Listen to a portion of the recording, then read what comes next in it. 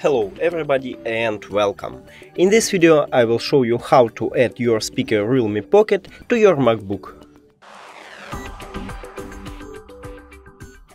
You have to start by uh, click on Bluetooth icon, then go to Bluetooth settings.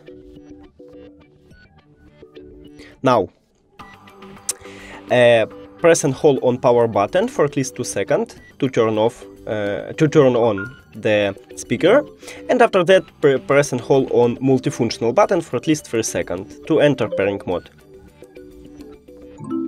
Here we go. Now click on your uh, now click connect uh, on your speaker. And here we go, we just did it. Thank you for watching this video, if you found it helpful please consider subscribing to channel and leave the like on the video, it's really important to us. See you later!